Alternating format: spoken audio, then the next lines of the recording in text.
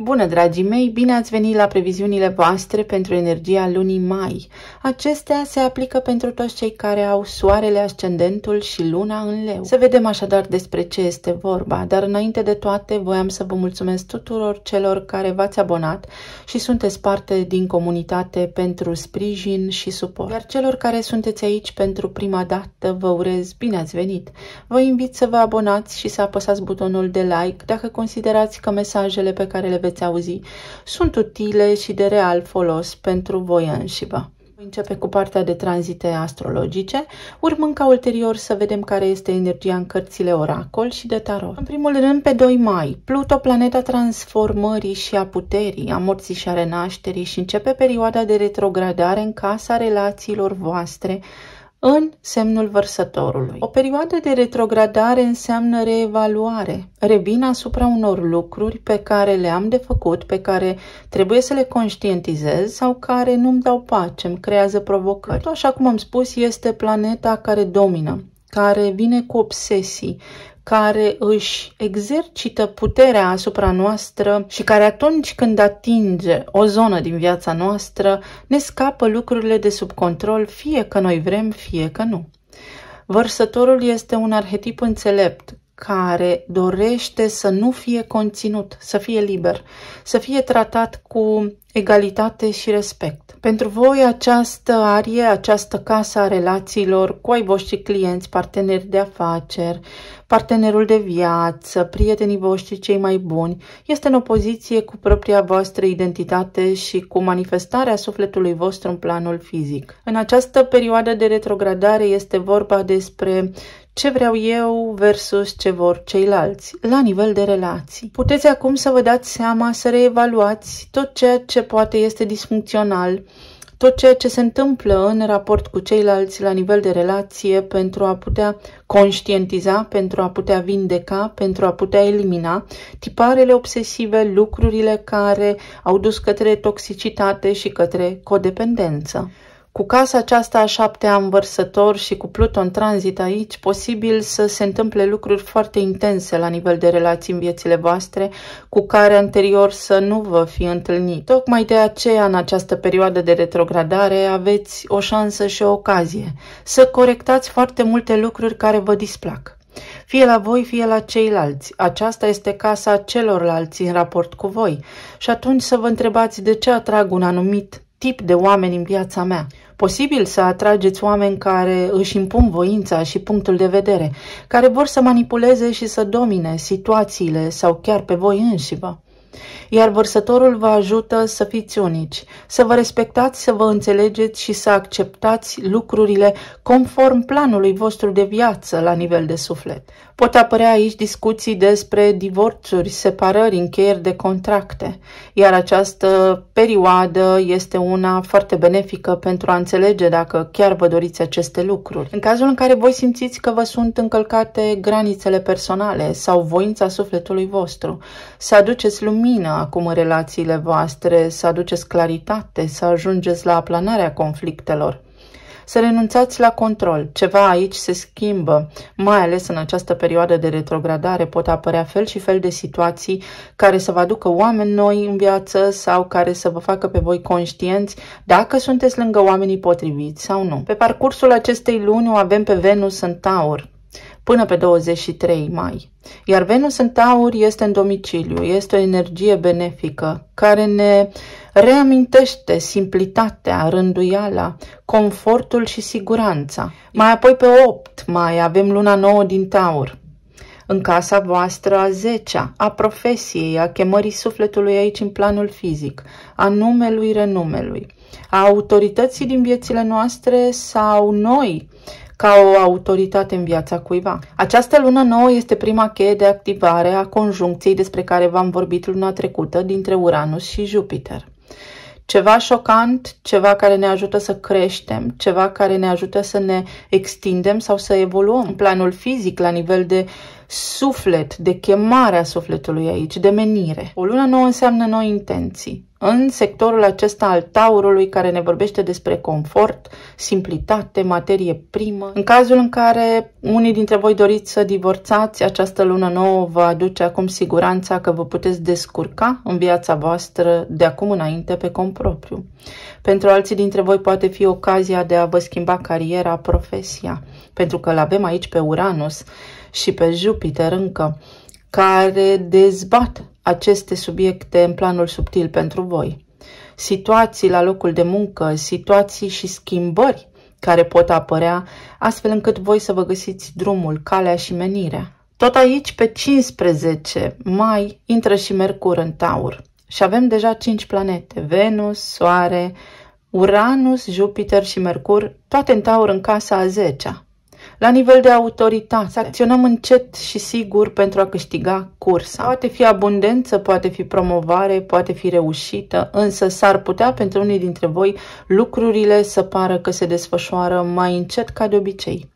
Sau să fie nevoie acum să apăsați puțin frâna, să vă luați timp de gândire și să vă gândiți la lucrurile care contează cu adevărat în această viață pentru voi. Mai apoi energia se schimbă începând cu 20 mai când soarele intră în gemeni în casa voastră 11 urmat de Venus pe 23 și apoi de Jupiter care își schimbă semnul din taur în gemeni pe 26. Casa 11 vorbește despre idealuri, planuri de viață, dorințele mele, viitorul meu, grupurile sociale din care fac parte, anturajul, business, rețele mari de oameni. Este timpul să mă gândesc, să-mi fac planuri. Ce să fac acum pentru viitorul meu? Simt că ceva poate nu funcționează sau vreau mai mult de la viață. Venus aduce comunicare multă, plan social foarte activ, carismă și reușită, afaceri și câștiguri. Iar Jupiter aici, marele benefic pentru următorul an, va aduce oportunități, extinde, expandează tot ceea ce voi veți face în această casă la nivel de plan de viitor. Vă poate aduce succes formidabil. În această casă a 11 și în Gemen a mai fost Jupiter în anul 2012, acum 12 ani. Putem face o comparație cu acel an pentru a putea preveni sau pentru a putea să mai facem o dată ceea ce a funcționat atunci. Pe 23 mai avem parte și de luna plină din săgetător din casa voastră a cincea. Această casă are legătură cu copiii sau cu copilul interior din noi, cu iubirea, romanța, cu creativitatea, cu bucuria vieții. O lună plină aduce încheiere aduce concluzie, iar săgetătorul vorbește despre înțelepciune și despre a vedea imaginea de ansamblu. În cazul în care ceva în relațiile voastre nu funcționează acum, Săgetătorul aici, ca arhetip, infuzează energie și prin luna plină puteți trage o concluzie. Ce nu a funcționat în relațiile mele? Unde m-am portat eu imatur sau unde au venit către mine oamenii răniți? Unde m-am portat eu ca un părinte, ca o autoritate? Cu partenerul meu de viață. De ce s-au întâmplat aceste lucruri? Unde este rana și cum o pot vindeca? Săgetătorul poate aduce și încheierea unor chestiuni legale care acum să vă ofere vă o șansă să puneți în practică noi proiecte.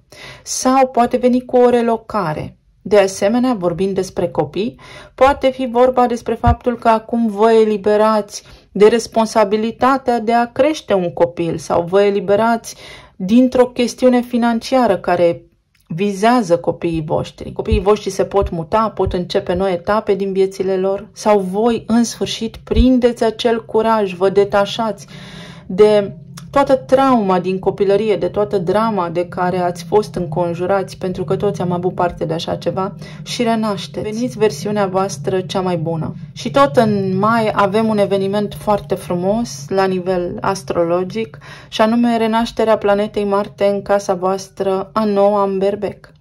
În astrologia veche și literatura de specialitate așa se numește, renașterea, întrucât Marte nu a mai fost vizibil pe bolta cerească în ultimele șase-șapte luni.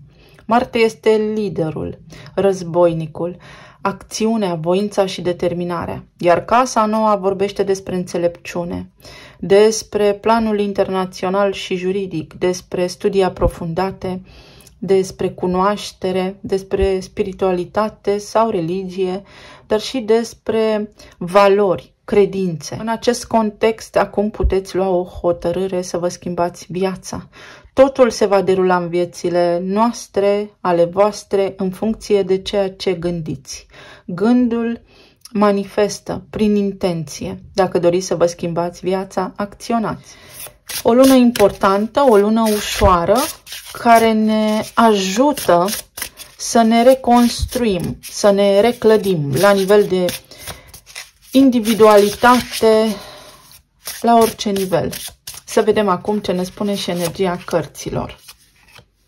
Focul. Focul este în poziție întoarsă, lipsă de chef de viață sau poate piedici, obstacole pe care le-am avut. Poate nu am avut inspirație, poate am avut blocaje în zona creativității, tot ce ține de pasiune și bucurie, de inițiativă. Toate aceste lucruri acum sunt în discuție și se pot corecta. Și nodul nord din Berbec pe care îl activează renașterea planetei Marte în casa nouă.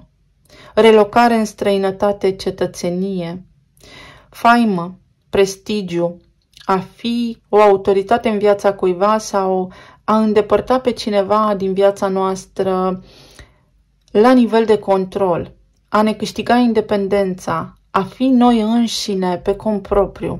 Nodul nord aici activează această zonă a planului internațional, extindere la nivel internațional, mai ales pentru că veți avea activă Casa 11 planuri noi de viitor pentru care acum aveți curaj. Scuzați vocea, sunt un pic răgușită. Să vedem mai departe. Liniște și pace. Și numărul 26. Acest an, anul 8, anul dragonului, parteneriate care să-mi aducă echilibru. Iată cum retrogradarea planetei Pluto din casa voastră a șaptea va crea situații, pentru că este o planetă care nu ține cont de ceea ce vrem noi, o energie care este infuzată fie că noi vrem, fie că noi nu vrem, astfel încât noi să păstrăm în viața noastră doar oamenii alături de care viața noastră are un sens, care gândesc și simt la fel ca noi. Și șase este armonie în relații, în zona sănătății, a planului material, în zona serviciului, dar și a uh, vieții de familie. Ce frumos! Fericire în casa 11, cu toate tranzitele din casa 11, unde Jupiter intră acum pentru voi, planuri noi de viitor. Vă puteți face și le puteți susține, dar prin acțiune, pentru că altminteri vor fi niște tranzite lipsite de sens și viața va continua fix ca până acum.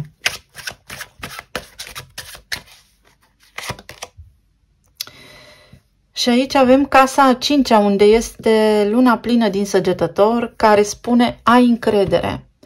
Renaști și te bucuri de viață. Nu ești aici degeaba. Apar schimbări la nivel de creativitate, planuri noi, reușită, poate fi cineva nou în viața voastră, poate fi și revenirea cuiva din trecut cu care acum să clarificați uh, odată și pentru totdeauna lucrurile. Este o energie care vă ajută să fiți lipsiți de griji, care vă ajută să mergeți mai departe, să evoluați. Să vedem, în zona relațiilor, pentru leu, luna mai. 7 de monede, 6 de spade și regele de cupe. În zona planului material avem împărăteasa și 10 de spade. În zona planului emoțional, cavalerul de bâte. Și în alta preoteasă. Wow, ce energie! În această zonă a relațiilor pare că lucrurile uh, se îmbunătățesc. Pare că voi renașteți și vă regăsiți bucuria vieții. Cel puțin acesta este potențialul cel mai apropiat de manifestare. Pentru cei care sunteți singuri, după o lungă perioadă de timp, puteți porni într-o călătorie a descoperirii sinelui și puteți întâlni persoana potrivită pentru voi alături de care să vă faceți planuri noi de viitor și să fiți liniștiți, fără dramă, fără obsesii, fără atașamente. Pentru cei care sunteți în relații deja, energia acestei luni va aduce timp de gândire să vedeți ce puteți vindeca și să înțelegeți dacă există acolo iubire sau dacă pur și simplu ați mers cu fluxul, cu valul. Este o lună foarte puternică de conștientizare prin care voi să înțelegeți acum dacă mai merită să investiți în relațiile voastre sau nu pentru unii dintre voi. Pentru alții dintre voi este o lună de liniște în care veți vedea niște schimbări ale partenerilor voștri de viață, voi, de asemenea, vă puteți schimba, astfel încât să atingeți această stare de fericire și de beatitudine. Pentru unii dintre voi poate fi și o separare, după cum am menționat anterior, pentru că a venit timpul să vă dezvoltați, a venit timpul să eliberați această structură veche, această capsulă în care voi ați stat nemișcați, iar pentru cei care sunteți în perioada de separare, aici energia vă spune că ați zăbovit prea mult timp, ați pierdut prea mult timp așteptând. Și a venit vremea să vă îndepărtați, să mergeți către viața voastră care devine ușoară, cu posibilitatea de a vă găsi liniștea și de a cunoaște pe altcineva pentru că se activează nodul nord prin energia planetei Marte din casa voastră a noua. Nu știm ce ne aduce viitorul, dar știm că avem potențial de fericire. Să vedem mai departe.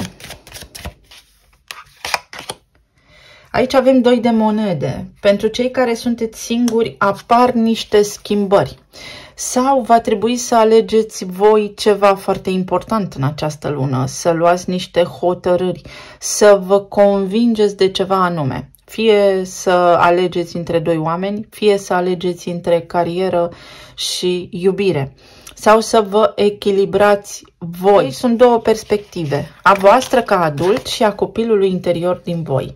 Și această lună va aduce prilejul să creșteți mari, să vă maturizați, să înțelegeți tot ceea ce am vorbit în intro și în tranzite, să descoperiți de ce anumite lucruri au fost într-o anume manieră pentru voi, pentru că puteți avea parte de fericire și de relație armonioasă în această zonă a iubirii. Poate apărea cineva, poate fi în urma unei decizii pe care voi o luați în această lună sau în urma unor evenimente care uh, se schimbă, care aduc schimbări în viața voastră. Pentru cei care sunteți în relații deja formate, exact cum am spus, aveți de cântărit o viață de cuplu sau de acum înainte o viață pe cont propriu. Sau ce fac eu, ce face partenerul meu și cum ne putem întâlni la mijloc astfel încât să ne putem găsi liniștea și fericirea. Pentru alții dintre voi gândul la o separare, iar pentru alții dintre voi ce avem de făcut pentru a ne împăca, pentru a ne vindeca. Pentru cei care sunteți în perioada aceasta de separare, aici energia vă spune este fix alegerea ta dacă mai rămâi cu gândul la această persoană care nu te-a înțeles și nu te-a cunoscut sau nu te-a apreciat pentru unicitatea ta și pentru felul tău de a fi, sau mergi mai departe către o altă viață pentru că există cineva potrivit frecvenței tale pe care îl poți sau o poți întâlni. Avem aici din nou șase de spade. Este o lună care activează vindecarea. Este o lună prin care vă puteți schimba rutina în relații. Este o lună care poate aduce o rutină nouă în relații. Puteți cunoaște pe cineva, puteți ajunge la un echilibru sau se poate produce o separare dacă sunteți în relații deja formate. Iar pentru cei singuri este o alegere de vindecare. Să vedeți ce vă face mai mult bine. Să sperați în continuare fără a ști unde duce această speranță sau să vă ancorați în realitate, să fiți foarte pragmatici, precum spune energia din taur, din casa voastră 10 și să deveniți o autoritate, să fiți pe cont propriu, să vă descurcați, să vă aranjați viața conform planului vostru, conform sufletului vostru. Este o energie foarte puternică, să știți, pentru voi. Și mai avem aici trezirea, trezirea în conștiință, conștientizarea sau revenirea asupra unor lucruri. Dacă sunteți singuri, cine este de vină, să spunem, pentru că voi sunteți singuri? Oamenii din jurul vostru pentru că sunt răi și nu coincid cu voi? Sau pur și simplu frica voastră, vedeți, copilul interior din voi, căruia îi este frică pentru că a fost învinovățit cândva și umilit.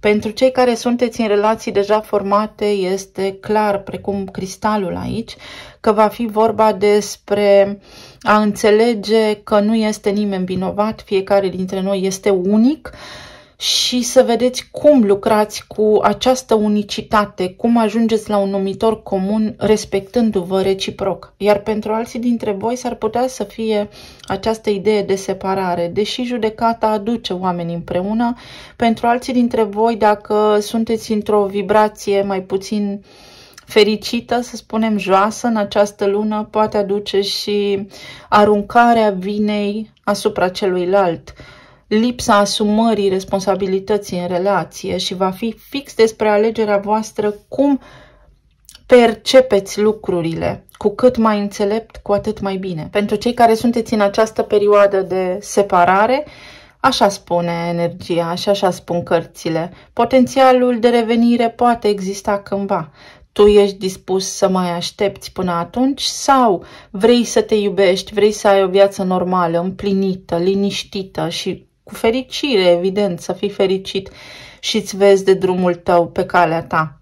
Poate exista o împăcare, dar în egală măsură poate fi și vorba despre faptul că undeva rămâne o rezistență și asta va face Pluto acolo în vărsător.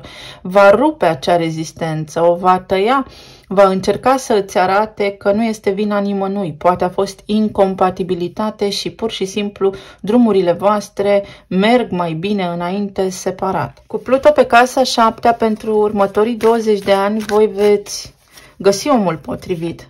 Dar până îl găsiți, este fix această zicală. Veți crește mari, vă veți transforma la 180 de grade în acest proces gândim, mi-e dor de tine, tânjesc după tine sau te doresc. Și acestea sunt trei vibrații diferite, prin care acum Pluton vărsător în retrogradare vă trece. Dacă sunteți singuri, mi-e dor să am o relație, aș vrea să am pe cineva alături. Trebuie să te gândești de ce. Pentru că există atașament, pentru că există o nevoie de conectare, dar într-o vibrație înaltă, sau pentru că nu îți place ție să fii singur, îți displace să fii singur. Când omul este bine cu sine, atunci apare și în exterior binele. Pentru cei care sunteți în relații deja formate, aici poate exista această idee de codependență sau s-a întâmplat ceva la nivel de uh, Pasiune. Focul ne-a apărut în primă fază întors. Nu există aici pasiune, poate pentru unii dintre voi, doar parteneriat, fraternitate. Sunteți alături de cineva, dar care nu vă inspiră, care nu vă activează această bucurie a vieții. Puteți ajunge acolo sau puteți lua o hotărâre să vă eliberați reciproc în această lună. Ambele variante sunt posibile pentru că totul în viață este în dualitate. Apoi, pentru cei care sunteți în perioada de separare, să înțelegeți de ce vă este dor de cineva sau ce anume vreți, pentru că aici este o nevoie de a demonstra. Și să analizați foarte bine aceste lucruri, dacă doriți, evident. Și aici avem eliberarea.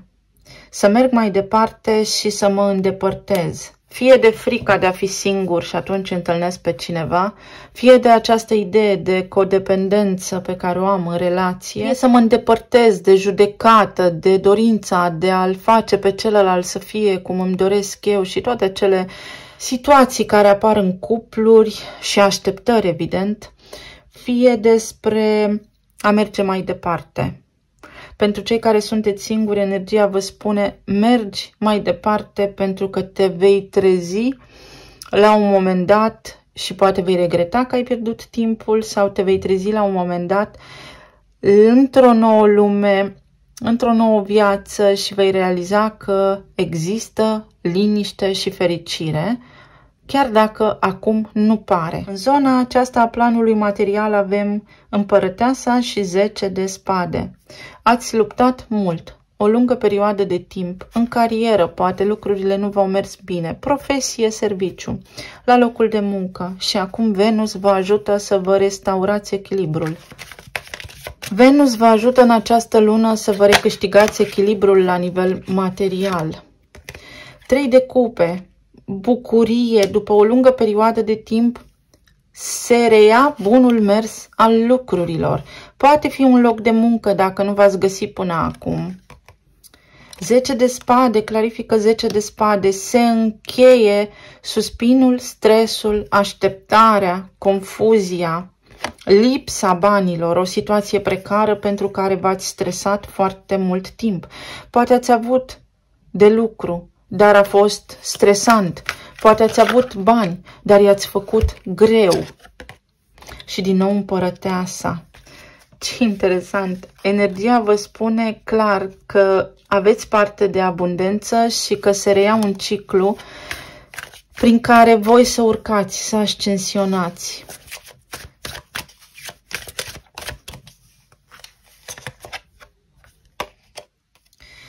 Și lucrurile vor deveni mai ușoare și aici avem on.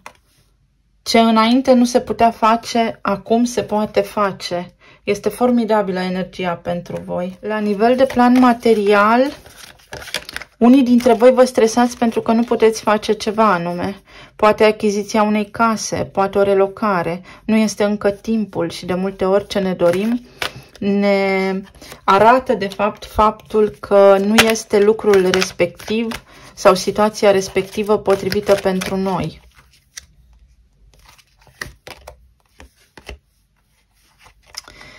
Aici avem activitate socială, aici avem lucruri care vorbesc despre alte culturi, despre multicultural, mai exact și mai precis.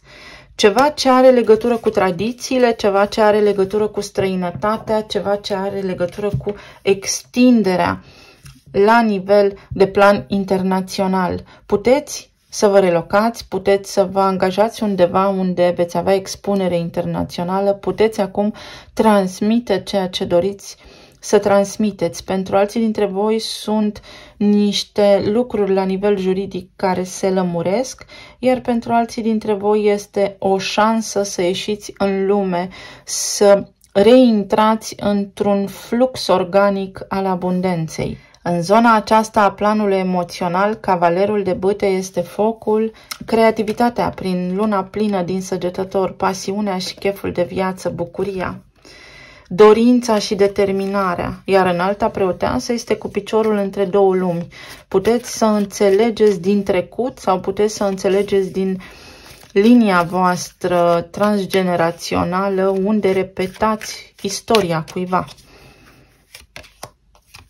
Regele de monede pe cont propriu, starea materială pentru voi acum este una importantă și poate fi o chestiune care vă ajută să avansați la nivel profesional. Pentru alții dintre voi poate fi un partener stabil pe care să îl cunoașteți acum sau partenerul vostru de viață devine mai profund, se conectează mai bine cu voi. La nivel medical poate fi vorba despre exerciții fizice, despre asumarea responsabilității asupra vieții și asupra corpului. Nebunul, un început, încredere, încredere și motivație, încredere că reușesc, încredere că pot, stimă de sine ridicată. Puteți cunoaște pe cineva nou. Și regele de spade, cu minte limpede. Pentru unii dintre voi este un început care va duce faimă, prestigiu și care vă va oferi vouă o șansă să deveniți o autoritate, să deveniți poate cunoscuți într-un anume domeniu. Este elevare, casa aceea a noua vorbește despre studii înalte academice, despre aprofundarea unor cunoștințe, despre o diplomă pe care acum o puteți dobândi, puteți începe să lucrați pentru o diplomă. Pentru alții dintre voi aici este vizita la un medic care vă ajută să vă vindecați. Talismanele